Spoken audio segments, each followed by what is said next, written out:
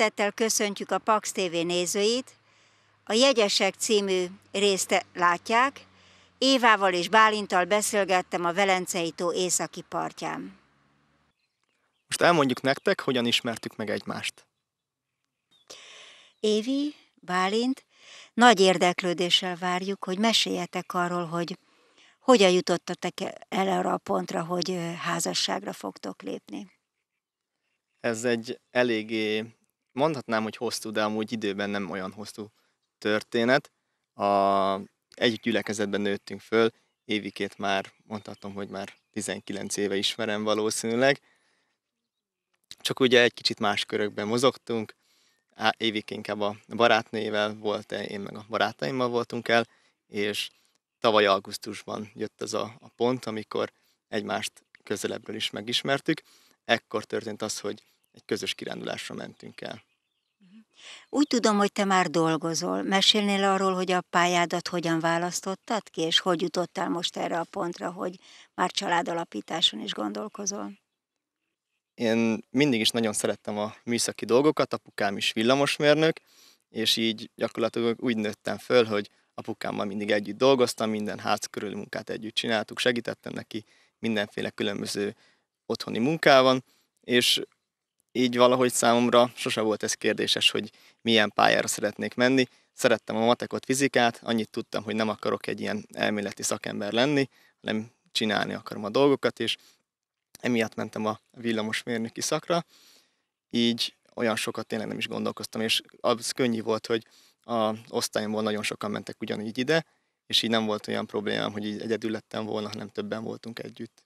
Az mindig egy nehéz kérdés megtalálni a másik felemet, hogy a hited, az, hogy az Úr Jézus Krisztusban megtértél, ez mennyiben segített téged abban, hogy, hogy megtaláld az igazit? Így ez nagyon nagy mértékben segített. Ugye már pár éve mondhatnám azt, hogy vágy, bennem volt az a vágy, hogy szeretnék társat kapni, találni, és bíztam mindig abba, hogy ugye a, a gyülekezetben is mindig ezt kaptuk, Sándor bácsi is mindig ezt mondta, hogy, hogy a, a segítőtársat az Úr adja, és ugye ezt olvastuk is a, a teremtés történetet, hogy Ádám egyedül volt, és lenézett rá az Úr, és segített neki egy szerzett egy segítőtársat, és hogy nem az volt, hogy, hogy Ádámnak kellett úgymond alkotni egy segítőtársat, hanem hogy az Úr segített, és, és évikével való kapcsolatunkban nagyon örülök neki, hogy erről bizonságot tehetek, hogy, hogy mondhatni, hogy, hogy az Úr teljes mértékben vezetett, és hogy adta, hogy, hogy nem, nem úgy történt ez az egész dolog, hogy, hogy én, én kiszúrtam évikét, és akkor terveket szőttem, és, és elhatároztam, hogy évikét akkor meghódítom, mert hogy nem így történt. Egy hívő ember hogyan közeledik? Egy férfi hívő ember hogyan közeledik egy lányhoz, és mi segíti abban, hogy ezen az úton végigmenjen tisztességesen és tisztán? Hát ebbe nagyon könnyű dolgom van erre válaszolni, mert évikével ugye augusztusban ezen a kiránduláson ismerkedtünk meg, és csak barátok voltunk, és, és így nem is jutott nekem nagyon sokáig, több hónapig eszembe, hogy, hogy évikéhez, hogy úgy, mint lány és férfi a lányhoz úgy közeledjek, ezért így ez számomra nem is okozott problémát, mert hogy tényleg eszembe se jutott, hogy, hogy, hogy évikét úgymond meg szeretném úgy jobban ismerni, hogy ez mindig is föltűnt, hogy, hogy Évike nagyon érett és kedves lány, és hogy nagyon, tényleg nagyon könnyedén beszélgettünk mindenféle témakörről, mindig meglepődtem, hogy, hogy Évikével szinte mindenben egyetértettünk, és annak ellenére, hogy, hogy Évike fiatal, így nem, nem azt éreztem, hogy, hogy, hogy éretlen, hanem azt éreztem, hogy, hogy csodálkoztam, hogy hát amikor én ilyen fiatal voltam, akkor én nem gondolkoztam ilyen érettem ezekről a dolgokról, és így egyre többet beszélgettünk Évikével, és így olyan természetesnek tűnt az egész. Sok mindent mondtál az Éviről már, de tudnál-e még mondani olyan tulajdonságokat, ami miatt megszeretted őt? Gondolom ez egy folyamat volt. Igen, nagyon sok olyan tulajdonsága van Évikének, amit, amit megszerettem benne. Úgy, ha visszagondolok, hogy mi volt, ami megfogott Évikében, hogy, hogy amikor nem is ismertem közelebbről, akkor is számomra csak így ismeretlenben ugye az volt a képzetem, hogy Évike egy aranyos, kedves lány, és, és valahogyan szimpatikus volt. És ahogy hogy megismertem egyre jobban közelebbről, nagyon tetszett Évikében az, hogy, hogy alázatos volt, és nem, nem nagyképű. Évikéről kell tudni, hogy szerintem nagyon gyönyörű lány, és, és elő szokott fordulni az mindenkivel, aki, aki úgy gondolja, hogy nagyon szép, vagy nagyon okos. Én is mondhatnám, hogy régebben is nagyon el voltam szállva magamtól, hogy én mennyire okos vagyok, és előfordul az, hogy valaki nagyon szép, akkor teljesen úgy viselkedik, hogy mennyire szép, és hogy, hogy mindenki legyen megtisztelve, vagy szobál vele, és hogy évig ennek nyomát sem láttam, hogy, hogy tényleg mindig nagyon aranyos volt, és kedves, és szobált velem, és nagyon szerettem azt is, hogy, hogy évikét érdekelte, hogy velem mi van. Nem csak az volt, hogy ő elmondta, hogy, hogy neki hogy telt a napja, mm. és neki milyen problémái vannak, hanem hogy, hogy nekem is hogy, hogy telt a, a munkám, hogy mit tettem, hogy vagyok, és Évéke volt gyakorlatilag az egyetlen, aki, aki érdekelt, hogy a munkahelyen mit dolgozok, és hogy hogy telt, meg mit, hogyan csinálok, és ugye ez nem annyira izgalmas dolog, mert ugye műszaki dolog, úgy, nem, igen, és hogy Évike izgalommal hallgatta, megmutattam uh-huh. neki, hogy mit csinálok, meséltem róla egy kicsikét, és mhm. érdekelte a dolog, és láttam, hogy, hogy ez az érdeklődés, ez őszinte. Mert hogy nem, nem az volt, hogy csak azért csinálta azt, hogy, hogy én jól érezzem magamat, hanem láttam, hogy tényleg őszintén érdekli, hogy, hogy mi van velem. És együtt járunk az ifjúsági körbe. Ugye gondolom hallottad a megnyilvánulásait, a szolgálatait, az imádkozását, hogy ezzel kapcsolatban milyen benyomásaid voltak? Hát ugye ifjúságira nem olyan régóta jár Évike, de egy Évike nagyon visszahúzódó lány, így nem tudok mondani semmi úgymond többet, mint amit így láttam. Tehát, hogy mindig is, amit láttam benne, hogy, hogy Évike oda teszi magát a dolgokhoz, hogy szolgál, de nem az a lényeg, hogy ő látszódjon, hanem hogy, hogy még akkor is, ha nem tudják, hogy ő tette, inkább visszahúzódok, és hogy inkább, hogy mást kapja a dicséretet, de hogy inkább dolgozik, de nem, nem az a lényeg, hogy, hogy ő látszon, és ő legyen a, a középpontban, és hogy őt, őt dicsérjék. Most téged is megkérdezlek, Évi, hogy ezt a folyamatot, amiről a Bálint így mesélt, ezt a te szemszögedből hogy élted meg? Hát ugye ott kezdődött az egész, hogy kitaláltuk a barátnőimmel, hogy elmegyünk kirándulni az erdőbe, csak aztán az egyik barátnőmnek az anyukája nem engedte, hogy hát felnőtt nélkül, már mint igazából mind felnőttek voltunk, de hogy ilyen fiú felügyelete nélkül menjünk, mert hogy veszélyes, és akkor az egyik barátnőmnek már a Bálint jó barátja volt, és akkor meggyőztük, hogy eljöjjön velünk, igazából kivett szabadságot, szóval már alapból így beszéltük a barátnőmmel, hogy jaj, milyen aranyos, és milyen kedves, mi úgy szeretjük a Bálintot, hogy, hogy így feláldozta a napját, hogy velünk eljöjjön, pedig nem is voltunk így nagyon barátok, csak így együtt jártunk a gyülekezetbe. És aztán ott ugye hát jól tett az a kirándulás, és akkor egyszer csak a Bálint felhívott, hogy jaj, milyen volt az egyetem, mert én idén kezdtem az egyetemet, és akkor kérdezte, hogy milyen volt az első nap, meg minden, és akkor egyre többet beszélgettünk, és hát igazából csak azt vettem észre, hogy így már így minden nap beszélünk, és nem tudom, így mindig vártam az estét, hogy akkor felhív, és elmesélj, hogy velem mi volt, meg velem, meg tényleg mindig ilyen érdekes dolgokról mesélt, szóval nem tudom, mindig érdekelt az, amit így nem tudok, vagy ami az így nem értek, így szeretek új információkat megtudni. És akkor a munkája is tök érdekes volt, meg alapból ilyen, a Bálint nagyon okos, és mindenről mesélt nekem, szóval mindenféle témakörben mindig nagyon otthon volt, és én élvezettel hallgattam, mert nem tudom, az elején még úgy volt, hogy inkább ő beszélt többet, de aztán így azt vettem észre, hogy én is olyan nyitottabb lettem felé, és talán nem volt az egyetlen ember, aki előtt úgy éreztem, hogy igazán önmagam lehetek, és akkor így már én is tök bátran elmeséltem neki mindent. Hát nem tudom, talán ahogy az idő múlt, egyre jobban megszerettem. És aztán így az egész tök gyorsan jött a végén már. nem tudom, most így olyan nehéz belegondolni, hogy nem rég még csak barátok voltunk. Ez egy nagyon izgalmas időszak a másik embert megismerni.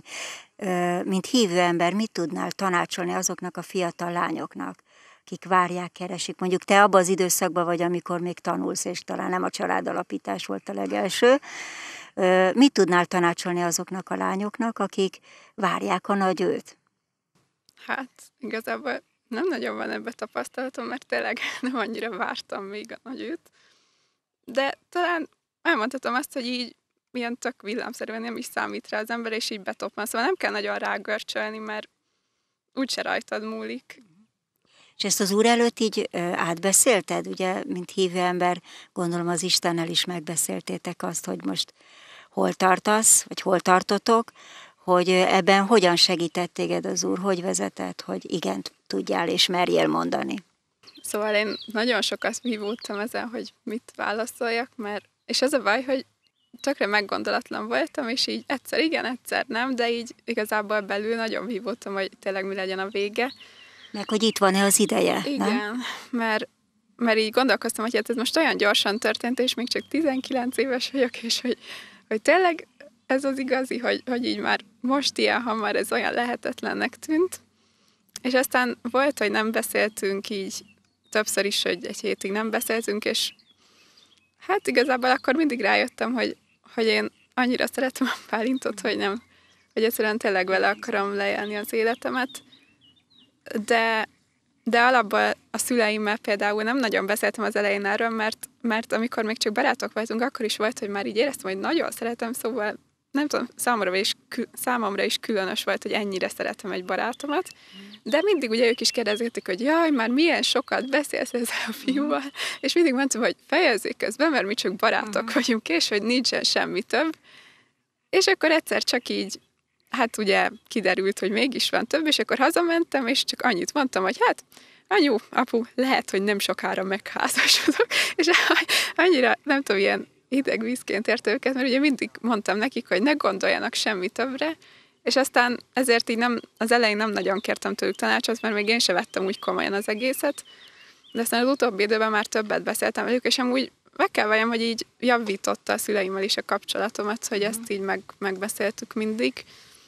És az volt jó, hogy ők, ők így nem mondták meg, hogy konkrétan mit csinálják, csak meghallgattak, és hát igazából maximum annyit mondtak el, hogy mi a véleményük a Bálintról, de nem mondták meg, hogy szerintük mi lenne jó, és mi nem, mindig igazából az úr elé vittem, aztán volt, hogy csináltam hülyeségeket, szóval szegény Bálintot néha így az őrületbe kergetem a sok vacilálásommal, de végül... Hát, ha igazán szeret, akkor tud várni rád. Igen, hát nagyon türelmes volt, ezt el kell mondjam, nagyon megszerettem benne, hogy, hogy, hogy igazából olyan figyelmes, meg tényleg a barátságunk alatt is már így mindenre odafigyelt, hogy jaj, nem fáj a lábad, mikor kirándultunk, meg minden, meg hozott nekem vizet, hogy ne halljak szomja, mert ugye rólam tudni kell, hogy nagyon keveset iszak, és el mindig gondja volt rám. És a szüleid, gondolom, meglátogatta a Bálint a családot is, hogy milyen volt ez a találkozás, amikor a szüleiddel együtt fogadtátok a Bálintot, hogy emlékszel vissza rá? Hát anyukám nagyon örült, apukám viszont egy kicsit, hát így magába szállt, és kicsit sajnálta az ügyet, hogy ilyen hamar elmegyek otthonra. De aztán most, most úgy látom, hogy nagyon megszerette a Bálintot, úgyhogy nem tudom, sok közös programot szervezünk velük, és nagyon, nagyon befogadta a családom, szóval például az öcsém is mindig kérdezi, hogy ma jön át a Bálint? Szóval már olyan, mint hogy a család része lenne a Bálint. És neked milyen volt az ő szüleivel való találkozás? Hát az egyik kirándulásunk rájött az anyukája is, meg az apukája is. Az anyukáját nem annyira ismertem előtte, de most nagyon kedves velem, nem tudom, nagyon szeretem. Az apukája viszont a gyülekezetünkbe jár, vele többször beszélgettem már ilyen kirándulásokon, ő mindig ilyen nagyon gyakorlatilag jó tanácsokat szokott adni. Vele így minden komoly témára lehet beszélni. Emlékszem, a pályaválasztásom előtt is beszélgettem vele. Hát nem tudom, szeretek Jenő bácsival beszélgetni, de velük így még, hát majd még kell több olyan családos program, amikor a két család is együtt van, meg a, az Ágival is úgy érzem, hogy remélem most már egyre jobban vagyunk, mert a Bálint húga, vele se voltam eddig barátnő, de ő is nagyon kedves. Jó, és milyen programjaitok vannak? Tehát amikor így együtt töltitek a szabadidőtöket, akkor mivel szeretitek tölteni? Hát a legtöbbször kirándultunk, ugye? Hát igazából mindenfélét így együtt csináltunk, vagy hogy asztalt szeretünk össze, meg hát filmet is néztünk már, meg nem tudom, így szeretünk nagyon sétálni a városba, a Szabadság itt a kedvenc helyem, ja. és amúgy ott is kérte meg a kezemet a Bálint, mert amúgy hát nagyon régóta úgy terveztem, hogy én nekem majd ott fogják megkenni a kezem. Persze ezt nem én döntöm el, de mégis így történt.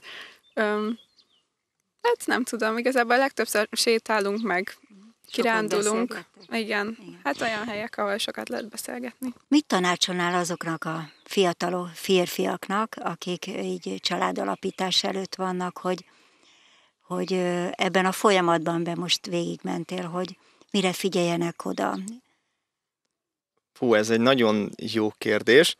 Ugye engem már hosszabb ideje foglalkoztat, hogy, hogy hogyan lehet megtalálni azt a valakit, azt a társat, aki az Úr, úr szánt nekünk, és Sándor bácsival, Áginivel és többször beszélgettem ezzel, és mindig úgy az volt a konklúzió, hogy, hogy imádkozni kell és várni az Úrra, és így valahogyan nem tudtam így ebbe a dologba úgy belenyugodni vele, hát biztos valamit kell tennem, hát hogy valamit keresni, vagy ismerkedni, vagy beszélgetni, akármi, és az úr megmutatta, hogy, hogy tényleg ez a megoldás, hogy várni kell, hogy nekem annyiszor volt az, hogy amikor én kitalálok valamit, és nem úgy történt, és Jévikével meg az annyira csodás volt, hogy, hogy nem az volt, hogy, hogy, hogy, hogy kitaláltam valamit, és akkor ezt megvalósítom, hanem hogy én csak nyitott voltam, barátkoztam, nem, tényleg semmi célom nem volt azzal, hogy legalábbis olyan célom, hogy, hogy majd Évikét megismerem, ugye több lányon elmentünk, ugye az egyik jobban voltam már régóta, és ahogy barátkoztunk, így eszembe se jutott ez a dolog, és én azt tudnám tanácsolni, hogy,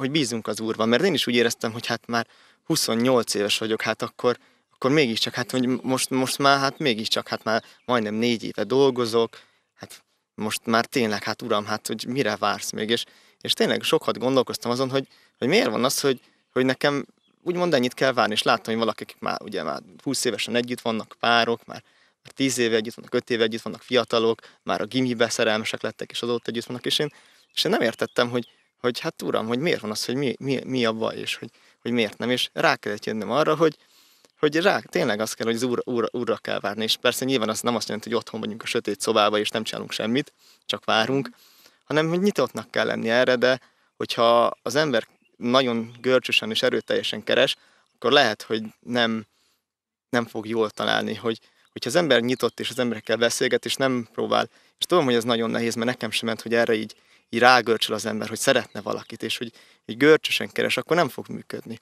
És tudom, hogy ez nem, nem annyira könnyű megcsinálni, hogy akkor most, jaj, tudom szeretni házasodni, de, de ne görcsölj és ne keressél, és úgy tűnik, mintha akkor ennek nincs értelme, de van értelme. Az én életünk is példa erre, hogy hogyha ha az, az Úrra várunk, és az Úr szavára figyelünk, akkor az Úr kegyelmes, és az Úr szeret minket, és megadja. Kivel tudtad megosztani ezeket a vívódásait? Évi így fogalmazódott, sok vívódás volt a szívében. Ezek szerint egy fiúnak is vannak vívódásai. Hogy kivel tudtad megosztani ezeket az érzéseidet az Úron kívül?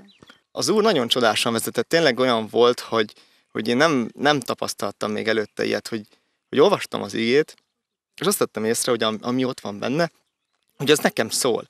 És, és és így hihetetlenül hangzik, de hogy tényleg, amikor olvastam az igét, akkor biztos, biztos voltam benne, tehát az Úr bizonyosságot adott nekem, hogy, hogy, hogy, hogy évikét nekem szánta, és mm. ugye akkor mi nem volt, akkor mi csak barátok voltunk, és ugye ezt a dolgot úgy éreztem, hogy ez nem, nem időszerű, hogy most jöjjek el ezzel a dologgal, és persze hát beszélgettem erről a, a barátaimmal, és, és emlékszem arra, hogy, hogy decemberben beszéltem először Ági nénivel, és így oda mentem hozzá, és így elmondtam, hogy, hogy Évikével nagyon jóba vagyunk, és hogy, hogy úgy érzem, hogy, hogy én szeretnék többet is, hogy szeretném Évikét jobban is megismerni, és Ágiréni nagyon támogató volt, tehát így számítottam volna arra, hogy, hogy mond valami dolgot, de hát, hogy Évike fiatal, meg hogy így, vagy amúgy, vagy miért, és nagyon támogató volt, és azt mondta Áginin, hogy de hát és Évike mit gondol? Hát mondtam neki, hogy hát még, még nem kérdeztem. Megmondta, hogy de, de hát majd, majd kérdezzem. Megmondtam, hogy persze, majd meg fogom kérdezni, csak, csak most még nem. És, és így történt, mm. hogy... Most, hogy Ági nént említetted, hogy jegyes oktatásra Igen. is jártatok, ez szokás nálunk a fiatal Igen. párok, hogy milyen hasznos tanácsot kaptál, vagy olyan útmutatót, ami érzed, hogy egy életre el fog kísérni benneteket? Ági néven től, ugye a jegyes oktatáson nagyon sok hasznos dolgot kaptunk, még csak az elején vagyunk, tehát még csak talán két alkalmon voltunk, így a, a kezdetektől indultunk el, ugye Ádámtól és Évától, és nem is tudom, hogy mi így a legfontosabb, mert hogy, hogy ugye az embereknek nagyon fontos, úgymond szerint, én nagyon tiszteletben tartom a, a lelki szüleinknek úgymond a, a tanácsát, mert tudom, hogy, hogy ugye én még sose házasodtam, sose voltam jegyes, sose voltam férj, úgy nagyon sok kérdés lehet az emberbe, és olyan dolgokat, hogy ugye, hogy mennyire fontos a, a, az úrnak a szerepe, hogy, hogy mindig fontos, hogy az úr legyen a középpontban, hogy mindig, mindig minden nap fontos, hogy az úr elé álljunk, hogy legyen egy házi oltárunk, fontos, hogy ugye hogy a szolgálatok, Közös Igen, meg hogy persze azt, hogy, hogy figyelembe vegyük azt, hogy ilyen férfiak és nők vagyunk, mm. és hogy, hogy különbözőek vagyunk, és ugye ezt néha nehéz megérteni, hogy, hogy néha a nőknek nehéz megérteni a férfiak, és illetve fordítva, hogy de hát, hogy, hogy ezt hogy gondoltuk, és ugye ebből nagyon sok konfliktus lehet, és hogy, hogy egy ilyen egy ismerkedésben természetes dolog, hogy, hogy vannak nehézségek, vannak konfliktusok, és hogy, hogy ezeket mindegyiket meg lehet oldani az Úrban. És hogy ez természetes, mert ugye egy férfi meg egy nő az, az nagyon sok mindenben különbözik. Hát nyilván nem mindenre pont ugyanazt gondoljuk, ezért előfordulhatnak dolgok. És egyben ki is egészítitek egymást. Hogy fogadott téged az Évi családja? Ugye ez is egy ilyen nagyon érdekes pillanat, amikor kezdesz a családba beépülni. Igen, nagyon, nagyon izgalmas volt. Én a apukájával már régebben, még jó néhány évvel ezelőtt már volt, hogy beszélgettünk, tehát hogy nem voltam teljesen ismeretlen. Egy kicsit hiányoltam azt, ugye, ugye én nem mondhattam el Évike szülőnek, hogy, hogy nekem olyan szándékaim vannak, hogy majd szeretném megismerni jobban Évikét, amikor csak a barátom volt. Mm. Ugye Évikének sem mondtam még. És ez egy kicsit hiányoltam, hogy nem, nem volt a szüleivel kapcsolatom. És egyszer, amikor megy, az egyik ilyen téli kirándulásról vittem haza Évikét, akkor kijött apukája, és mondta, hogy ó, Bálint, gyere, gyere vacsorázni, és akkor tudtam, hogy ez, tudtam, hogy ez olyan, olyan meghívás, amit, amit igen, igen, hogy ezt, ez, ezt, hogy szeretne lát, megismerni engem jobban és látni, és nagyon-nagyon kedves volt az apukája, a családja, tényleg meg is lepődtem, hogy nem, nem vártam volna, hogy, hogy, hogy ennyire kedvesek voltak. Persze nem arra számítottam, hogy már morcosak lesznek, meg ilyenek, de, de nem számítottam egy akkor hatalmas szeretetre. Rögtön szeretettel fogadott, ugye adtak vacsorát, meghívott rögtön, hogy ú, majd szeretek pingpongozni, akkor jöjjek el majd nyáron, ó, hát majd menjek el majd ugye a rokonokhoz, majd Erdélybe is, jaj, de jó lesz minden. És egy nagyon, nagyon pozitívan állt hozzá, és nagyon kedves volt. És a te családod, testvéreid, szüleid Évit hogyan fogadták? Talán ugye elmentünk egyszer kirándulni, amikor még csak úgy barátok voltunk. Hát persze nagyon örültek neki, tehát Évi egy aranyos lány, miért ne örültek volna neki. De biztos volt ez a pillanat, amikor tudatosan azért hívtad meg az Évit a családod körébe, hogy jobban és mélyebben megismerjék őt. Vagy meséltél előtte róla? Egy, egy alkalomra emlékszek nagyon, amikor apukámmal még olyan karácsony előtt beszélgettem, éppen apukám ott a garázsban dolgozok valamit, és akkor mondtam, hogy hogy szoktunk beszélgetni Évikével, és akkor mondta, hogy jó, oké, de hát hogy Évike is meg szokott szólalni, mert hogy mert hogy ugye az, az, az volt a, a kép, elképzelése, hogy ugye, ilyen tudják rólam, hogy én sokat szoktam beszélni, évik ilyen csendes, aranyos kislánynak tűnik, hogy persze aranyos kislány, de azért rendesen tényleg ő is tud beszélni, csak hogy meg kell nyílni, tehát nem nagy sok ember előtt. És egy apukám mondta, de hát papa, hát ez nem így van. Hát Évike mondta, hogy hát én vagyok a legjobb hallgatóság, hogy, hogy, mi, hogy sokan nem hiszik el rólam, hogy én, én csöndbe is tudok maradni. De hát Évike tanul hogy tényleg tudok csöndbe maradni, remélem nem felejtetted el. És és ugyanez volt, amikor el, elutaztunk, még februárban családosan, akkor esténként Évikével mindig beszélgettünk. És apukám utána kommentálta, hogy hallottam, hogy beszéltél este Évikének, csak nem hallottam benne szünetet. Tehát, hogy megint azt hitte, hogy én csak, én csak fölhívtam, elmondtam a két órás mondókámat, és akkor leraktuk. De hát ugye nem így történt, de hát ugye Évike nem volt kiangosítva, nyilván nem hallották, de, de persze a szüleim nagyon pozitívan álltak hozzá. Tehát és az jutott még eszembe, hogy te, mint férfi, az édesapától milyen útmutatót kértél, vagy kértél -e egyáltalán? Próbáltad ezt így vele megbeszélni, hogy milyen Á, ugye szokták is mondani, hogy áldást ad a szülő a gyermekei házasságára, életére, hogy neked ez fontos volt, hogy az édesapád megáldjon téged, és hogy tanácsoljon?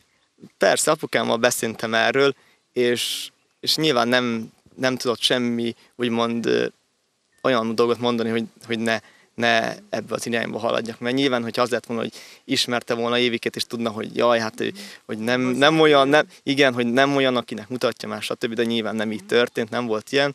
Ugye apukámnak is már így én becegettem, mondtam, hogy Évikével így beszélgetünk akármi, és, és ugye ez persze nagyon fontos a, a szülői áldás, de hogy, hogy ebbe, ebbe nem, nem volt hiány. Amikor ugye évi, évikével úgymond megbeszéltük, hogy össze fogunk majd házasodni, akkor nagyon rövid beszélgetésem volt a szüleimmel, csak fölhívtam őket, és mondtam, hogy nem sokára házasodok, és akkor anyukám már csak sírt és nevetett. Boldogok voltak. Igen. És uh, utolsó kérdésként, hogy uh, milyen előkészületeket kell tenni, ugye az házasság előtt, vagy az esküvő előtt, meg hát, hogy, hogy hogyan indítjátok az életeteket, hogy ezen már gondolkoztok-e, szoktatok erről beszélni, hol fogtok lakni, annak a berendezése, és a többi. Igen, igen. Én, ugye a lányok nagyon sokat szoktak álmodozni az esküvőjükről, én nem lány vagyok, és így nem sokat álmodoztam, és így nem nagyon tudtam elképzelni, hogy én mindig hallottam, hogy hú, mennyi munkával jár az eskü előkészítés. Én meg ugye ezt el nem tudtam képzelni, hogy hát most mi hát ketten oda mennek, és meg meghívnak embereket, és akkor kész.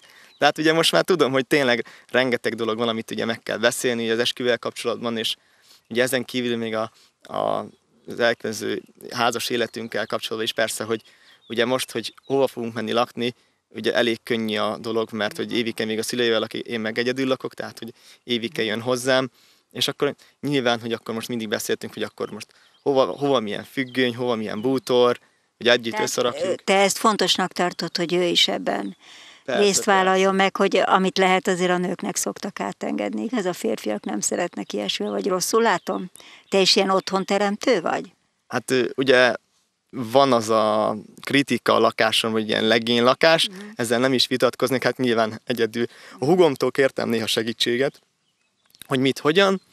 Most és már az évitől kérsz. Így van, tehát hogy szeretném, tehát hogy ez ne, nem azt szeretném, hogy eddig ugye az én lakásom volt, de most már a mi lakásunk lesz. És szeretném azt, hogy Évike is ugyanúgy otthon érezze magát, mint én, és Évike szoktam mondani, hogy, hogy ugye a lányoknak szép érzéke van, és jobban ért, hogy mi szép, és én ezt elfogadom, tényleg jobban tudja, hogy mi hogyan van, és ez meg szoktuk beszélni, hogy akkor hova milyen színű szőnyeg, és hogy jaj, bárint az színben nem illik oda, és én meg így, mm.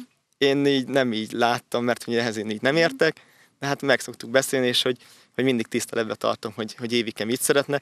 Nyilván, hogyha a rózsaszín, nem tudom, fűnyöket akarna mindenhova, amit nem akarna, akkor azért mondanám, hogy azért mégiscsak azért van valami határ, de hogy, hogy ebből nem szokott probléma lenni, hogy megbeszéljük, hogy, hogy kinek mi tetszik, hogy kompromisszumot, amikor választottuk a, az eljegyzési gyűrünket, akkor is nagyon könnyű volt, mert hogy ugyanazok a dolgok tetszettek nekem is, és Évikének is, és így nem volt az, hogy, hogy órákat ott veszekedtünk volna, hogy kinek mi tetszik, hanem hogy neked is azt tetszik, nekem is azt tetszik, akkor jó lesz. És így könnyű. Mi a jegyes oktatáson nagyon sok hasznos dolgot beszélünk, hogy mit is? A bibliai értékekről. Azokról az értékekről, amik örökkévaló értékek, amik segítenek abban, hogy a házasságban a házastársak szeretetben, hűségben, istenfélelemben és örömben lehessenek. A bibliai értékek olyan örök értékek, ami mindig segítenek abban, hogy egymás mellett hűséggel megmaradhassanak. Én mindenkinek ajánlom, hogy a Biblia értékei szerint kezdjék el az életüket, éljék végig, és akkor biztos, hogy az életük olyan tartalommal telik meg, ami nem csak testi, hanem lelki, és hogy nincs elválás, még a halál sem tud elválasztani, mert tudjuk, hogy kinek hittük és hova megyünk. Évi, Bálint, nagy élmény volt beszélgetni veletek. Kívánom nektek, hogy az Úr áldása megnyugodjon az életeteken. thank you